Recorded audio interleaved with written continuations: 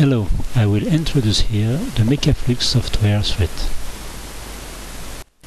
The Mecaflux suite consists in three software who will help you for fluid system calculation. Those three software are Heliciel, Mecaflux Pro 3D and Mecaflux Standard. Let's beginning by describe Mecaflux Standard. Mecaflux Standard is a general introductory software for fluid calculation.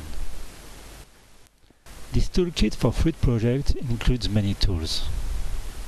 From the calculation of major head losses due to the friction and minor head losses due to the change of velocity like in bands, valve or similar, to the calculation of the aerodynamics and hydrodynamic lift or drag forces on geometric shapes, and also usual calculation tools like ventures, smoke duct, layer boundaries, dynamic pressure, Bernoulli equation, emptying tanks, pump preparation, unit converter and many other applications are integrated to this essential toolkit for fluid projects.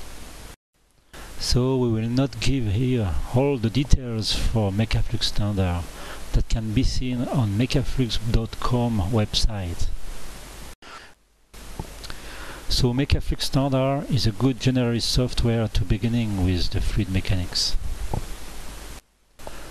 But to go deeper in fluid mechanics typical application, we need some specialized tool. So there is Mecaflux Pro 3D, who is a software for hydraulics and hydraulics network calculation. This soft allows more complex network design because it comprises an interface system in three dimensions, in which we see moving fluid particles coloring according to different pressure and velocity in the network. A network modeled by dragged and dropped objects from a library. For a detailed description, I invite you to visit mecaflux.com. The third software of the Mecaflux suite is specialized in the modeling of propellers and wings.